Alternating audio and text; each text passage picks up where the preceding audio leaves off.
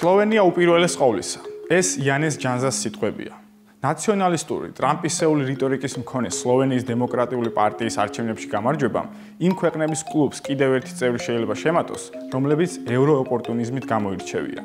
ყველასათვის ცნობილია ევროკავშირის წევრი ქვეყნები, პოლონეთი და უნგრეთი, რომელთა ხელისუფლებებს გაცხადებული ევროსკეპტიკური ხედვები აქვთ, მაგრამ ვინ არიან ევროოპორტუნისტები? ევროოპორტუნიზმი ეს არის ნაციონალურ დონეზე პრაგმატული პოლიტიკის მეთოდი, რომელიც პანევროპული იდეის ერთგულებას, ევროპაცენტრისტული ხედვების შენარჩუნებას, მაგრამ გარკვეულ საკითხებში ევროპული პოლიტიკების წინააღმდეგ წასვლას გულისხმობს. ასეთი მართველი პოლიტიკური ძალები ძირითადად ცენტრალურ ან აღმოსავლეთ ევროპაში გვხვდებიან, როგორიცაა ჩეხური ანო, სლოვაკური სოციალ-დემოკრატიული პარტია და ახლა უკვე შესაძლოა სლოვენიის დემოკრატიული პარტიაც. პრაქტიკა აჩვენებს, რომ ეს ქვეყნები ევროკავშირის ბიუჯეტიდან უფრო მეტ სარგებლეს იღებენ, ვიდრე მისთვის კონტრიბუციის სახით გასცემენ. მაგრამ გარკვეულ მომენტებში არ არიან ბრიუსელის ხედვების მიმართ სოლიდარული. ტერმინი ევროოპორტუნიზმი პირველად ჩეხურ გამოცემა ECO 24-ში პოლიტიკის კომენტატორმა დანიელ კაიზერმა გააჟღერა. სადაც ჩეხეთის ახალი ლიდერის მილიარდელი ანდრეი ბაბიშის პოლიტიკური ხედვები იყო განხილული. გარდა პოლიტიკური პროფილისა, ბაბიში ევროოპორტუნისტად პერსონალური მიზეზებითაც მოიხსენიეს. მას ჯერ კიდევ როგორც პრემიერობის კანდიდატს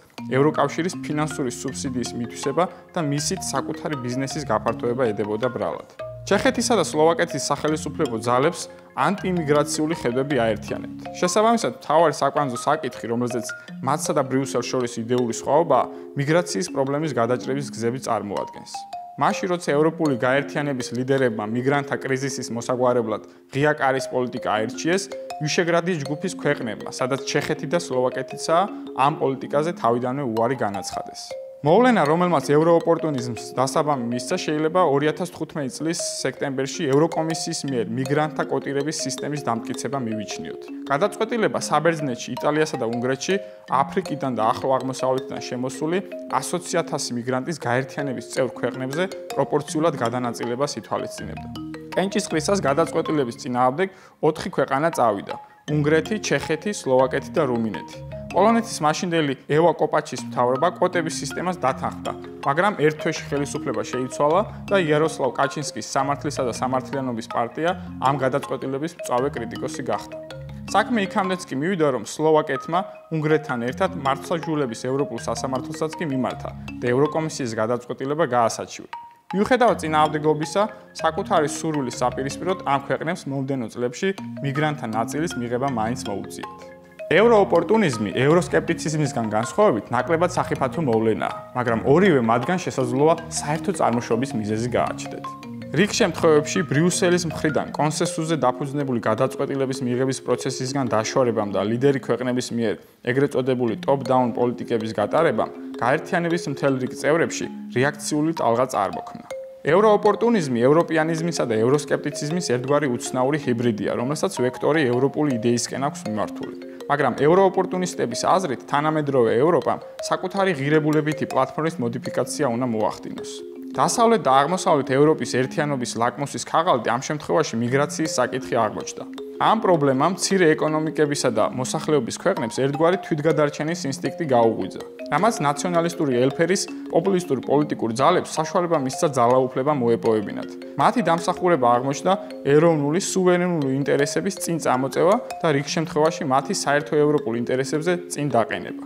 I agree with you they present a considerable force. Why? It's the same process all around Western Europe, United States and so on and so on.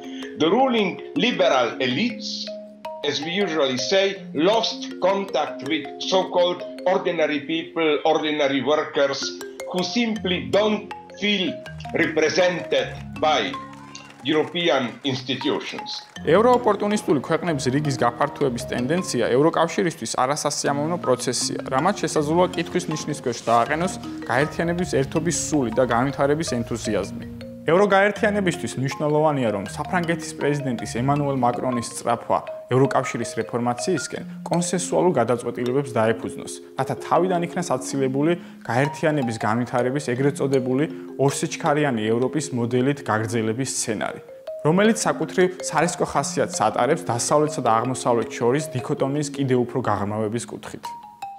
As Mark Twain wrote, I'm quoting, years from now will be more disappointed by the things we did not do than by those we did. Now is the time to build a more united, a stronger, a more democratic Europe for, for 2025.